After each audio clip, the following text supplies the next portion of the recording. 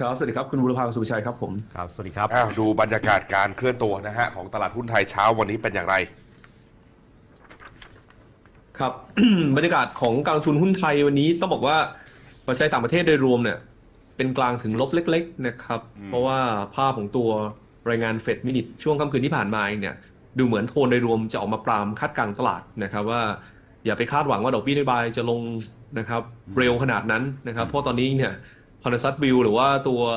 Fed Watch 2เนี่ยมันอิมพลายภาพว่าตลาดเองนะครับปัจจุบันเนี่ยคาดว่าดอกเบี้ยนโยบายของสหรัฐจะลงถึง 6 ครั้งอืมนะครับ 6 ครั้งก็คือ 150 basis point แต่เฟดเองเนี่ยใน dot plot นะครับแล้วรายงานการประชุม Fed minutes เนี่ยแค่ 3 ครั้งนะครับอ๋อก็ต้องบอกว่ามันมากกว่าที่ความคาดหวังตลาดเท่าตัวนะครับ แต่สิ่งที่มันเกิดขึ้นอย่างนี้ครับ พอมันออกมาภาพเนี้ย แน่นอนว่าสินทรัพย์เสี่ยงก็โดน take นะครับ ตัวดาวโจนส์ NASDAQ S&P 500 ซึ่งมันปรับตัวขึ้นเร็วมากในช่วงเดือนธันวาคมนะครับ ก็ปรับลงไปมาสัก 1% average นะครับ แต่ว่าในส่วนตัว bond yield สหรัฐเองเนี่ยนะครับ ที่มันดีดขึ้นมา มีแรงขายออกมาในช่วงก่อนรายงาน Fed minutes ออกเนี่ยนะครับ จนพุ่งไปถึง 4%สำหรับตัว bond yield สิบปีสหรัฐ มีแรงซื้อกลับเข้ามานะครับ แล้วก็มาอยู่ที่เลยสัก 3.9 บวกลบ ก็เป็นตัว imply ครับว่าจริงๆ ตลาดเองก็ยังคงมองเหมือนเดิมว่าท้ายสุดเฟดน่าจะลดดอกเบี้ยนะครับ มากกว่าที่ dot plot show นะครับก็เป็นจุดที่ทำให้ตัวภาพการลงทุน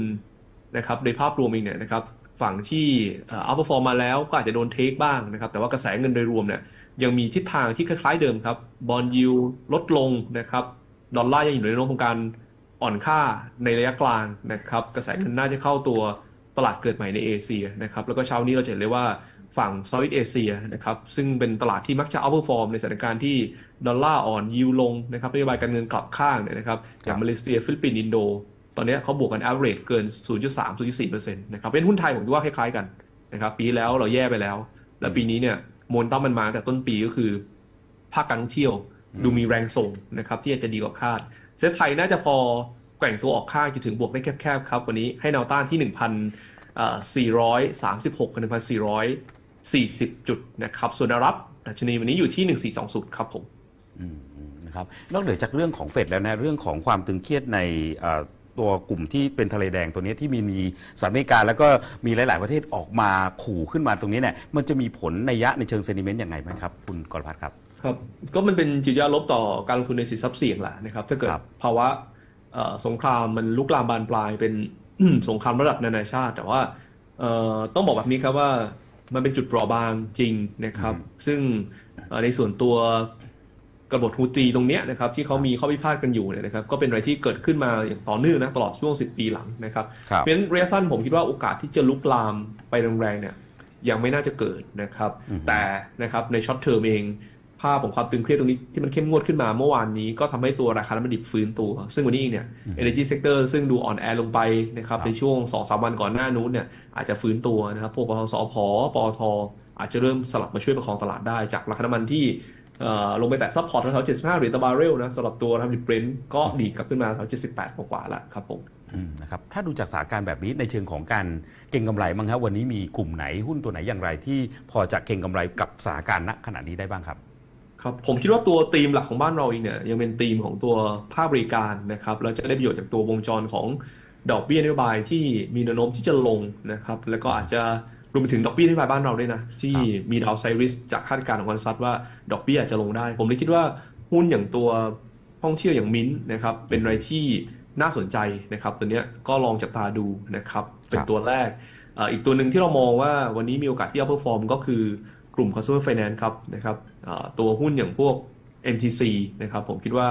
เอ่อปีนี้เป็นปีที่ยิวมันเริ่มลงมาเรื่อยๆนะนะครับแรงซื้อพันธบัตรบ้านเราเนี่ยของต่างชาติเข้ามาเมื่อวานหมื่นกว่าล้าน แล้วก็ซื้อต่อเนื่องเลยเป็นตัวอิมพลายครับว่าตลาดเชื่อจริงๆว่าอือฮึดอกเบี้ยนโยบายบ้านเราเองเนี่ยนะครับมันดูสูงเกินไปนะครับ real yield เป็นบวก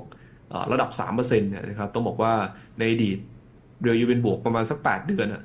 นะครับดอกเบี้ยนโยบายก็เริ่มลงแล้ว ตอนนี้คือ 7 เดือนแล้วนะครับอืมขณะที่ระดับดอกเบี้ย peak นะครับของบ้านเราเนี่ยนะครับตรึงไว้เต็มที่ในอดีตที่ผ่านมาเนี่ยไม่เคยเกิน 8 เดือน ก็จะลดดอกเบี้ยนะครับรอบนี้คือตรึงมา 3 เดือนแล้ว นั่นหมายความว่าประมาณสัก quarter สองนะครับปลายๆเนี่ยก็มีโอกาสนะครับที่จะลุ้นดอกเบี้ยนโยบายเราอาจจะลงอีกสักครั้งหนึ่งนะครับหรือว่าต้น quarter สามก็เป็นไปได้ ซึ่งจะทำให้ตัวภาพกลับเกิดขึ้นครับ cost of fund ของตัว consumer loan จะดีขึ้นนะครับจากที่โดน pressure มา 2 ปีเต็มๆ จะเริ่มกลับข้าง ผมเลยมองว่า MTC เนี่ยลองจับตาดูอยู่ในหุ้นที่มีโอกาสเป็นกลุ่ม outperform ขึ้นนะแล้วก็ขึ้นน่าจะขึ้นกันทั้งกลุ่มด้วยนะครับ ส่วนอีกตัวหนึ่งที่น่าสนใจครับค้าปลีกครับนะครับที่มาในขาของตัวเอ่อ easy receipt นะครับคนที่มีเอ่อใบเสร็จนะครับต่อยอดบิลสูงที่สุดเนี่ยก็คือ Home Pro นะครับแล้วราคาหุ้นเองเนี่ย valuation อยู่ในโซน PE 24 เท่า ในช่วง 10 ปีหลังเราไปดูเลยครับ PE Home Pro 20 เท่าเนี่ยอยู่ เกิดขึ้นแค่ 2 ครั้งนะครับแล้วก็เป็นฐานทุกรอบเลยนะครับลึกกว่านี้ก็คือโควิด -19 แต่ e a r n i n g เนี่ยโตมันไม่ได้เรื่อยๆ แล้วปีนี้เป็นปีที่ Home Pro เองกำไรจะโต